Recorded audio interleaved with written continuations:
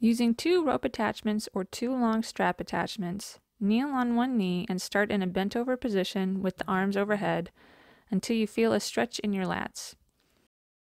As you pull the arms down to the floor, lift your torso into an upright position. Keep a slight bend in the elbows throughout the entire movement and keep the elbows pointed behind you so you can feel a squeeze behind your armpits.